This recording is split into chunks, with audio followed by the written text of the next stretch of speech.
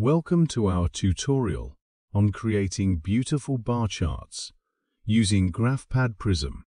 Bar charts are a powerful tool for visualizing data, and with Prism, you can make them not only informative but visually stunning as well.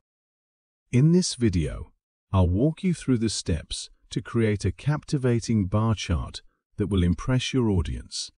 So, let's dive right in. First, make sure you have your data ready. GraphPad Prism makes it easy to import your data from various sources, including Excel or CSV files. Once your data is imported, select Insert and then Graph of existing data. Next, customize your chart to make it visually appealing.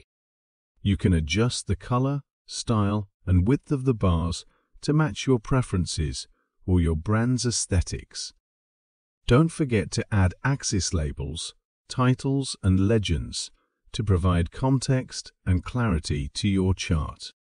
You can easily do this by clicking on the respective options in the GraphPad Prism interface. Now, let's enhance our bar chart further by adding changing the space between bars, as well as the mean value to be displayed on top or bottom of each bar.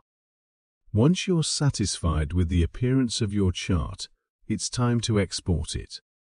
GraphPad Prism allows you to export your chart in various formats, including JPEG, PEE, AENGP, or even as an editable Prism file.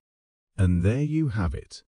In just a few simple steps, you've created a beautiful and informative bar chart using GraphPad Prism. Thanks for watching.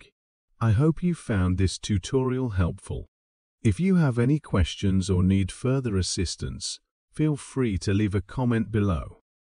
Don't forget to like, share, and subscribe for more tutorials on data visualization and analysis.